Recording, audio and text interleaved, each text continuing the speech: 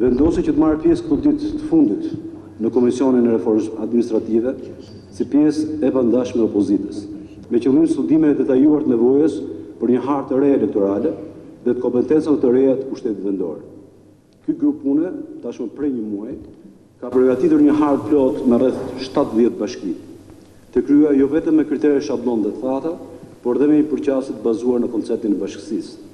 Pra, ka krahina tradicionale në vendin tonë, që janë bashki të veçanta dhe pse gjenden në të njëjtin rreth dhe kjo është marrë parasysh nga grupi i punës së PDIU-së. Fatkeqësisht, po shohim sërish se shumica është e gatshme që ta miratojë këtë reformë pa praninë e partisë më të madhe të opozitës. Më lejoni që të shpreh qëndrimin tonë të paekuivoktë në këtë drejtim.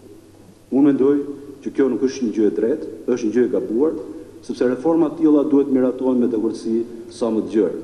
Në pjesën e Çamërisë që ka mbetur në Shqipëri, e cila plotëson të gjitha kushtet që të jetë bashki më vete me qendër Konispolin, ajo që vlen për t'u theksuar është se konsensusi e gjithëpërfshirësia për ne është e hapur deri në momentin e fundit që thatë dhe ju dhe nuk kemi aspak dyshime për këtë çështje. Fakti që ju si parti opozitare jo më e madhe keni ardhur tashmë një javë dhe keni bërë prezencë mendimet tuaja dhe reflektimi tonë në rastin konkret tregon që ne nuk na paragjykoni dot. Janë shtuar rreth katërmbëdhjetë njësi të reja nga varianti me dyzet e shtatë, pra ka kaluar harta e Shqipërisë në gjashtëdhjetë e një bashki.